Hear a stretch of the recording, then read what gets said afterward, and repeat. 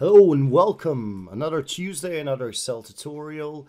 And this is about Power Query. It's an advanced Power Query tutorial. And it's about one of those so often missed uh, feature of Power Query, and that is lists. Now, lists are extremely powerful. And today I'm going to show you just how powerful they are with two functions. It will be list intersect and list count. Uh, but what here's here's the scenario. So we have a table of work hours, right? So each day, each and every employee, we have four, John, Paul, George, and Ringo, they clock in. So they say, well, today I did eight hours, or they say, well, I'm going on a leave, and that will be 80 hours. Well, what do these 80 hours actually mean? Well, usually it looks like this, right? I say, well, look, I want to start my leave on the, well, let's say on the 1st of October, like this, and I want to end my leave on the 11th, and that would be my 80 hours.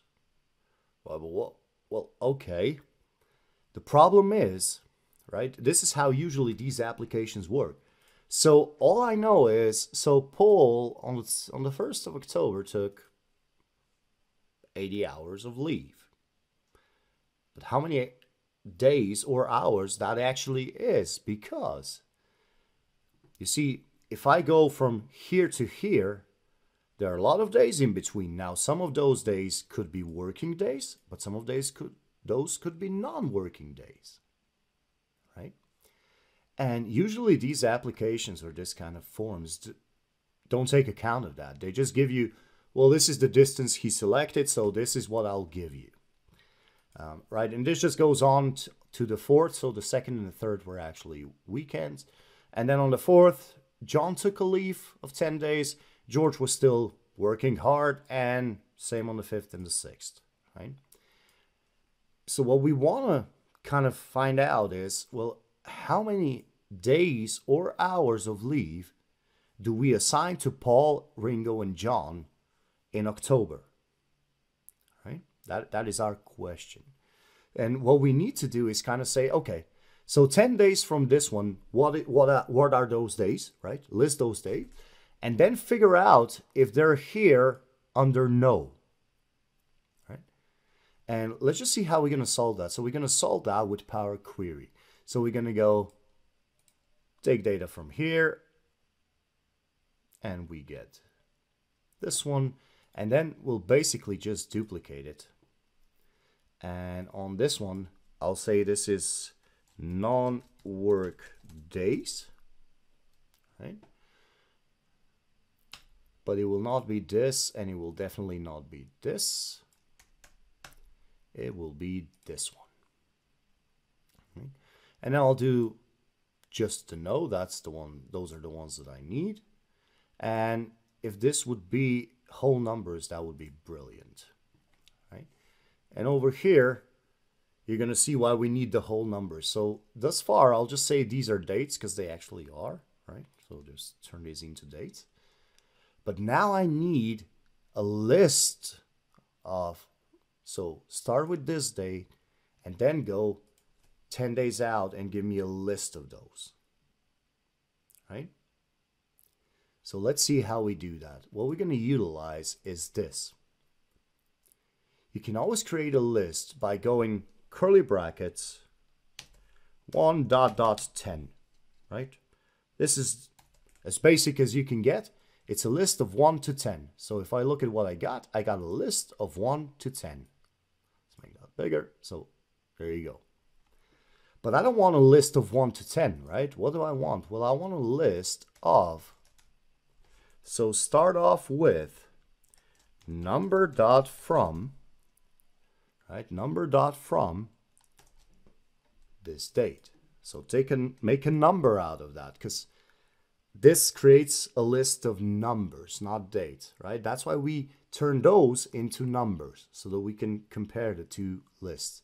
So number from date, dot, dot, and then we go number dot from, again, from the date, like this, plus and then we're going to say do the hours leave divided by 8, like this. And let's just close that off. And let's close this off, right? So we say OK. And what we get is lists where there are, you know, where they took leave and errors where they didn't. And these errors are just, you know, they're a nuisance. So what I'm going to do is I'm going to say, well, you know what?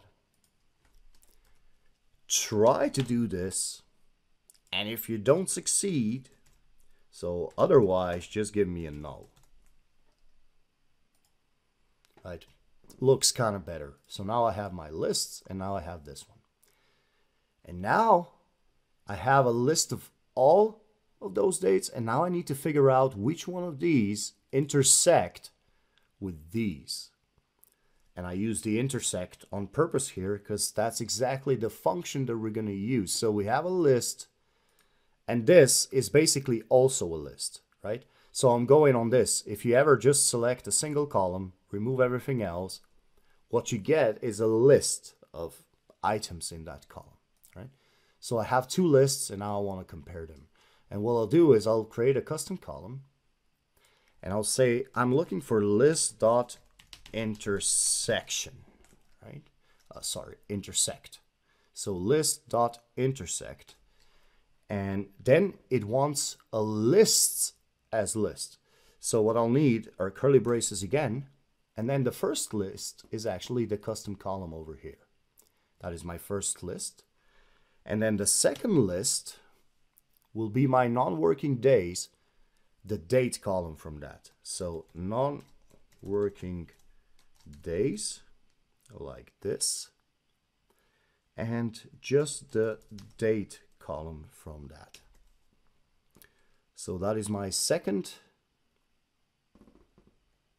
list. And now let's just close this down. And let's close this down and let's see what we get. The non-working days, yeah, that's because I call them the non-work days. Okay, non-working days, there you go. Okay. And now, again, I have lists, but mostly they're errors, right? Whereas this one, it gives me something. So they're either errors or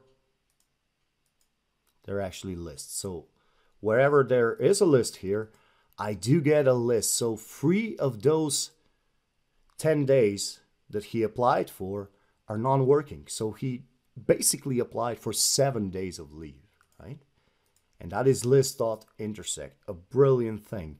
But now let's take it a step further. Let's say, okay, well, that's cool. But let's just do a list dot count of that, right? A list dot count of list dot intersect.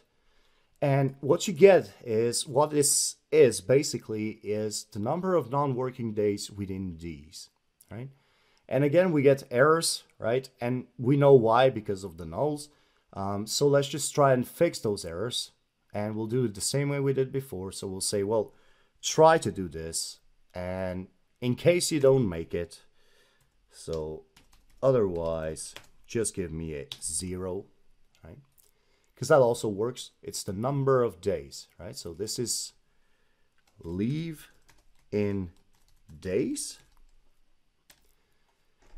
And now I could also have, oh, sorry, this is actually the number of non-working days within those. So if I wanted this to be a leave in days, what I would need to do here is I would actually need to do a